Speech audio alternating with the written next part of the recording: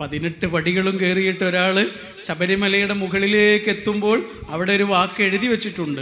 എന്താണെന്നറിയാം? ഈ പറഞ്ഞ വാക്കാണത് തത്വ മസി. അത് നീ തന്നെയാണ്. നീ തെരഞ്ഞുകൊണ്ടിരിക്കുന്നത് നിന്റെ ഉള്ളിൽ തന്നെ ഉണ്ട് എന്നാണ് അവിടെ എഴുതി വെച്ചിട്ടുള്ളത്.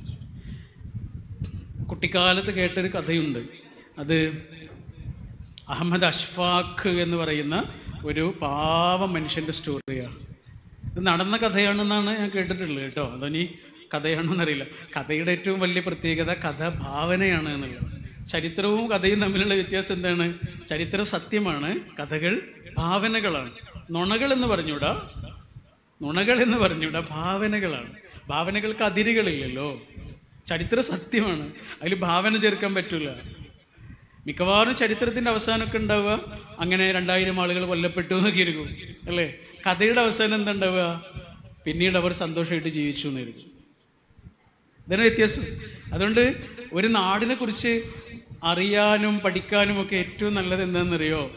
അവിടെയുള്ള ചരിത്രം പഠിക്കാ പഠിക്കുന്നതിനേക്കാൾ നല്ലത് അവിടെയുള്ള കഥകൾ വായിക്കുന്നതാണ്. നാടോടി കഥകളൊക്കെ ഇല്ലേ? എല്ലാ നാട്ടിലുണ്ട് നാടോടി കഥകൾ ആ നാടോടി കഥകളിലൂടെ ആ നാടിനെ നമുക്ക് അറിയാൻ പറ്റും. ആ നാട് എന്തായിരുന്നു എന്നറിയാൻ പറ്റും. ചരിത്രം ഏകദേശ യുദ്ധങ്ങളും കൊലപാതകങ്ങളും കുറേ പോരിമകളും അഹങ്കാര അഹങ്കാരികളായ കുറേ രാജാക്കന്മാരും അവരുടെ സുഖലോലുപതയുടെ കഥകളൊക്കെ ആയിരിക്കും കഥകൾ അങ്ങനെയല്ല. കഥകൾ കുറേ നന്മകളുള്ള കുറേ കാര്യങ്ങൾ അപ്പോൾ അഷ്ഫാക്കിന്റെ സ്റ്റോറി ഉണ്ടായതാണോ എന്ന് എനിക്കറിയില്ല. ആ കഥ ഇങ്ങനെയാണ്.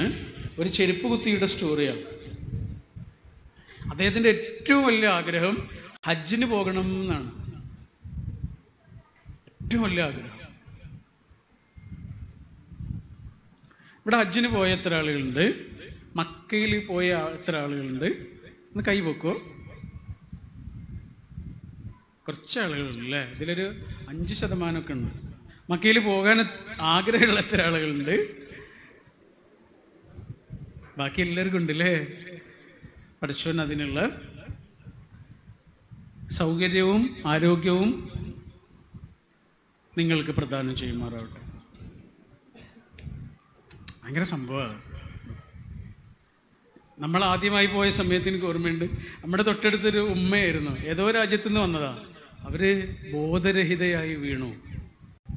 ആ കാഴ്ച കണ്ടിട്ട് ഞങ്ങൾ ഒരുമിച്ച് ഇങ്ങനെ നടന്നു പോകുന്നതിനിടയിലാണ് മുന്നിൽ കവ ഇങ്ങനെ പ്രത്യക്ഷപ്പെടുന്നത്. ആ കാഴ്ച കണ്ടിട്ട് ഇവരങ്ങോട്ട് വീണുപോയി.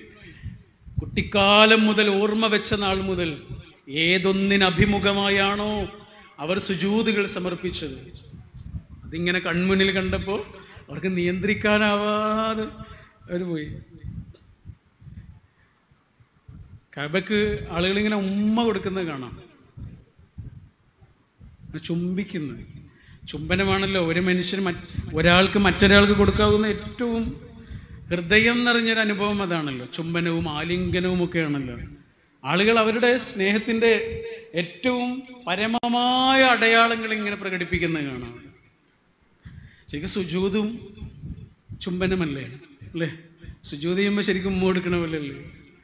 അല്ലേ പഠിച്ചോന് കൊടുക്കുന്ന ഉമ്മയാണ്. സാധാരണ നമ്മളിങ്ങനെ നിൽക്കുന്ന സമയത്ത് നമ്മുടെ തലച്ചോറ് മുകളിലും നമ്മുടെ ഹൃദയം താഴെയും അല്ലേ? അല്ലേ? സുജൂത് ചെയ്യുമ്പോഴോ? സുജൂത് ചെയ്യുമ്പോഴോ? ഹൃദയം മുകളിലും തലച്ചോറ് താഴെ വരും. തലച്ചോറ് ഹൃദയം തമ്മിലുള്ള വ്യത്യാസം തലച്ചോറ് നമ്മുടെ ഈ ലോജിക്കിന്റെ സ്ഥലമാണ്. ലോജിക്ക് മീൻസ് നമ്മുടെ യുക്തി ചിന്ത അതല്ലെങ്കിൽ സംശയം ഇതിന്റെയൊക്കെ സ്ഥലമാണ്.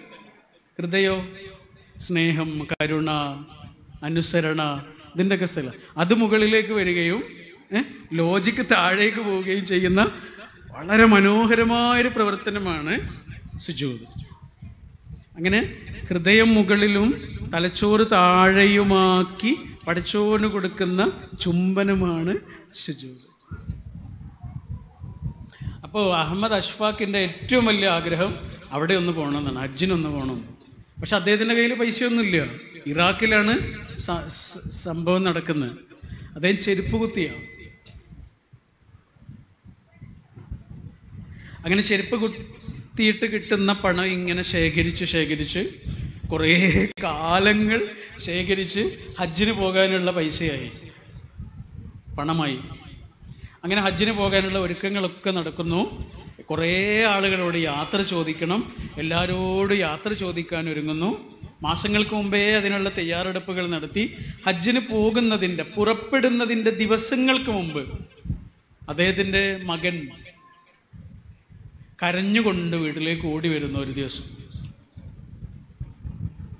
ഭയങ്കര കരച്ചിൽ. തേങ്ങി തേങ്ങി കരയാ. അപ്പൊ അദ്ദേഹം ചോദിച്ചു എന്തിനാ മോൻ കരയണത്?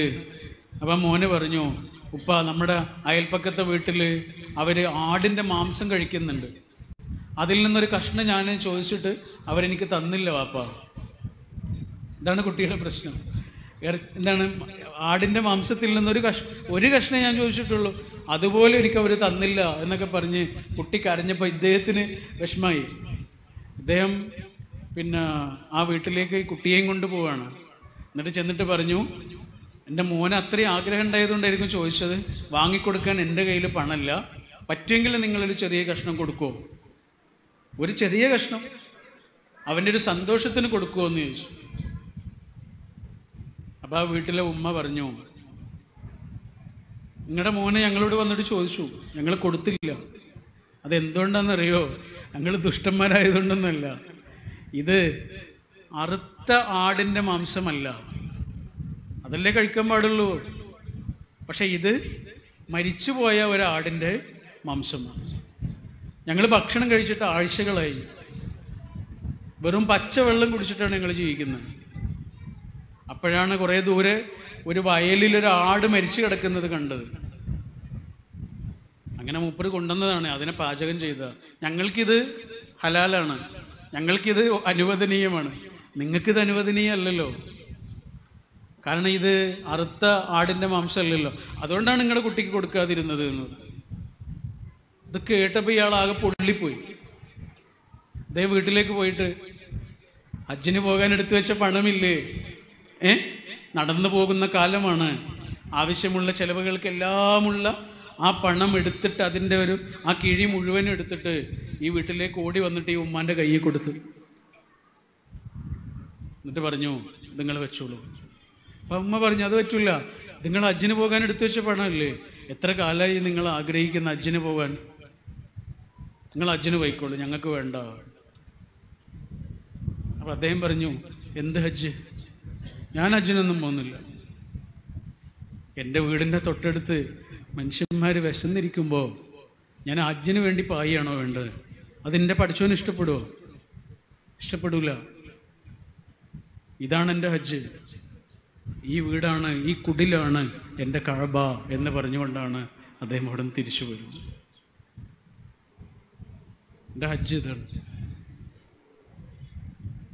എന്താണ് ദീന് മതം അല്ലെങ്കിൽ സ്പിരിച്വാലിറ്റി എന്നൊക്കെ പറഞ്ഞ എന്താണ്? എല്ലാ മതങ്ങളും നിങ്ങൾ എടുത്തു നോക്കൂ. എന്റെ കാമ്പ് എന്താണ്? എന്റെ സോൾ കരുണ. രമണ മഹർഷി എന്ന വലിയൊരു മനുഷ്യനുണ്ടായിരുന്നു നമ്മുടെ നാട്ടിൽ. തിരുവില്ലാമലയിൽ രമണ മഹർഷി. അദ്ദേഹം ഒരിക്കൽ അദ്ദേഹത്തിന്റെ വിദ്യാർത്ഥികളോട് ചോദിക്കുന്നുണ്ട് നേരം വെളുത്തു എന്ന് നിങ്ങൾക്ക് എങ്ങനെയാണ് മനസ്സിലാവുക? നേരം വെളുത്തു എന്ന് നിങ്ങൾക്ക് എങ്ങനെയാണ് മനസ്സിലാവുക? കുട്ടികൾ പറഞ്ഞു നേരം വെളുത്തു എന്ന് ഞങ്ങൾ പുറത്തേക്ക് നോക്കുമ്പോൾ മനസ്സിലാവും. വെളിച്ചം കണ്ടാൽ മനസ്സിലാവും. തെങ്ങ് തെങ്ങാണ് എന്നും വാഴ വാഴയാണ് എന്നുമൊക്കെ ഞങ്ങൾക്ക് തിരിച്ചറിയാൻ കഴിയുമ്പോൾ ഞങ്ങൾക്ക് മനസ്സിലാവും നേരം വെളുത്തു. അപ്പം അദ്ദേഹം പറഞ്ഞു ഉത്തരം ശരിയല്ല. ഉത്തരം ശരിയല്ല. അപ്പോൾ ഇവർ കുറേ മറുപടികൾ പറയാം. നേരം വെളുത്തതിന്റെ കാരണങ്ങളൊക്കെ പറയുമ്പോൾ ഇവർ പറയും അതൊന്നല്ലടാ നേരം വെളുത്തു എന്നറിയാൻ തന്നെ അതൊന്നുമല്ല. പിന്നെ എന്താണ് മാഷേ? എന്താണ് ഗുരു നേരം വെളുക്കുക എന്ന് പറഞ്ഞാൽ? ഗുരു പറഞ്ഞു എടാ നമ്മുടെ മുന്നിലുള്ളൊരു മനുഷ്യൻ നമ്മുടെ മുന്നിലൊരു മനുഷ്യൻ അയാൾ നമ്മുടെ സഹോദരനാണ് എന്നും നിന്റെ മുന്നിൽ നിൽക്കുന്ന പെണ്ണ് നിന്റെ പെങ്ങളാണ് എന്നും നിനക്ക് എപ്പോഴാണോ ബോധം വരുന്നത്? അതാണ് നേരം വിളിക്കുക എന്ന് പറയുന്നത്. മനുഷ്യന്മാരായ മനുഷ്യന്മാരെ മുഴുവനും നിന്റെ ഉടപ്പിറപ്പുകളായി നിനക്ക് എപ്പോഴാണോ മനസ്സിലാവുന്നത്? അതിന്റെ പേരാണടാ നേരം വിളിക്കൽ. അല്ലാതെ ആകാശത്ത് സൂര്യൻ ഉണ്ടാകുന്നതിന്റെ പേരല്ല അത്.